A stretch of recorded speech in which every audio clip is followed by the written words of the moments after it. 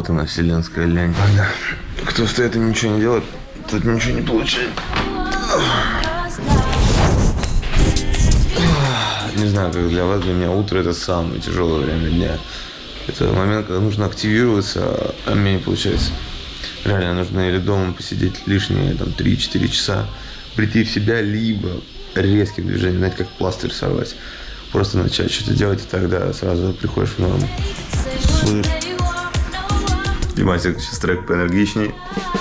Ну все.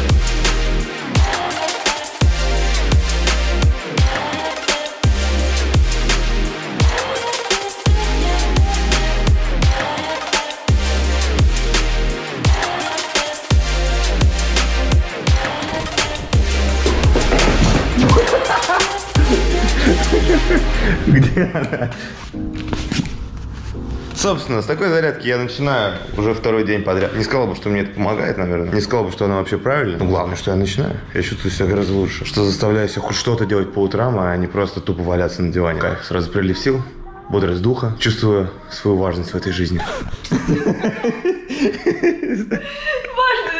Это вообще к чему?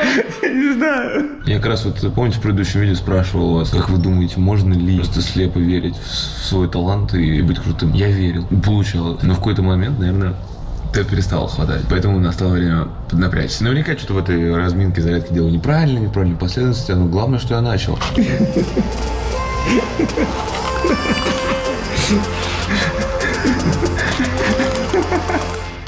Нужно собираться в парк, только что позвонил Осип, говорит, э, что они едут с Эдвардом Биллом в парк. Зачем, понятия не имею. Но попросили приехать э, а покататься э, для, для съемок. Я сейчас еще главной целью будет проверить, э, согласится ли Эдвард Билл прокатиться на велосипеде или засыпать. Мне кажется, он даже не рискнет. Хотя я даже Афоню заставил сделать 360 с подката на Эдвард. Мне кажется, он только на словах такой крутой. Сейчас узнаем. Кристина, живи в счастье, не умирай. Я поехал кататься. Переносимся в парк. Рэпер? Самый лютый. Или BMX? Привет. Костя. Эдвард, у тебя ноги такие большие даже. Защита. Твои ноги или железные? Защита. Сейчас, сейчас эти ноги покажем. Погнали. Приехали, значит, покататься, потренироваться. Короче, эта штука маленький велосипед называется BMX. Это серьезно? Короче, Костян в этом деле да. лучше, и он сейчас покажет. Костян, как это- надо. Он сказал, чемпион там что-то где-то там, да? Что-то где-то пернул Первый нормально. Всем понравилось, нормально. как пернул. Давай посмотрим, что я никогда не видел вживую. Можешь сначала для начала сам попробовать. Не, не, тормозов же нет.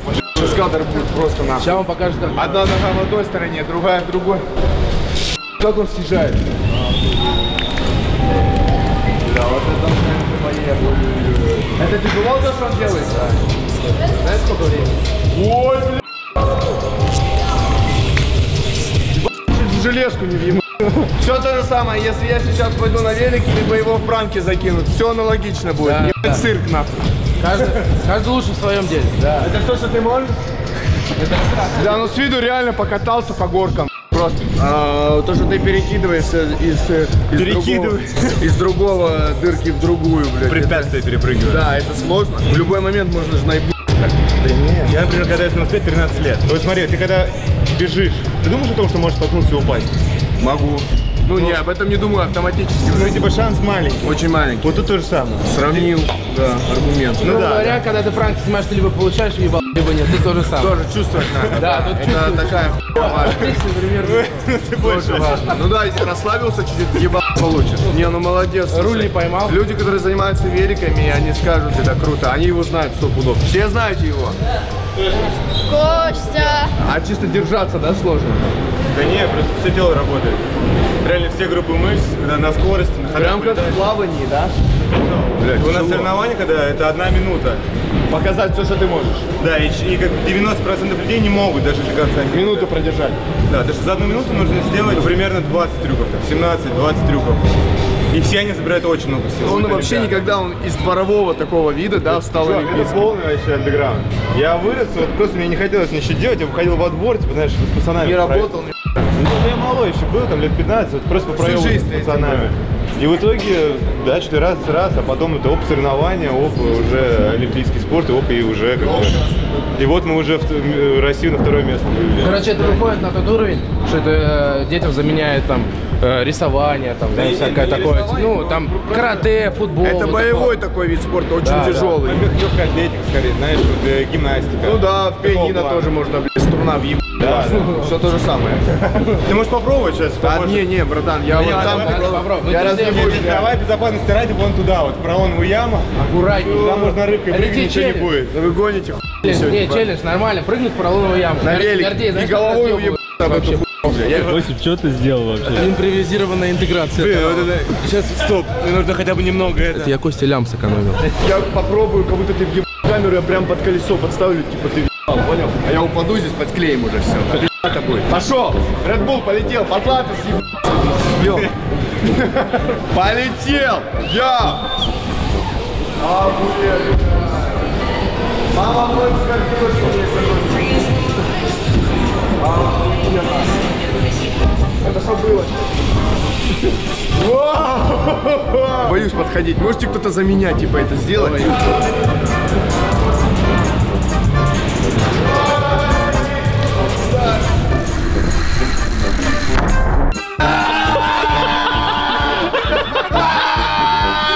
Могилы Сатида!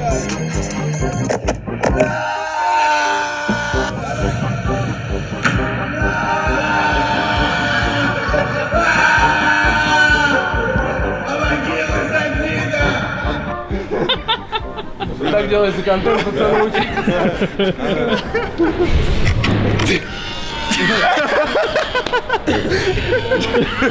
Ты понял, как сторис сделать надо? Не, ну это хороший сторис. мне, захотелось себе чехол купить. сумасшедший Red Bull.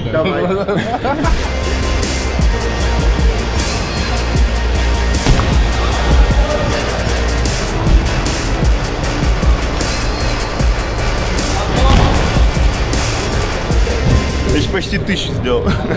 Первая семера, я прям летел на перегруд, и было ощущение, что вот чуть-чуть выпрямится, и меня еще на 34 крутанет. Она уже близко.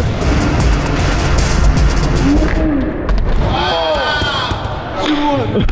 Вы это видели? Они это видели? Чего?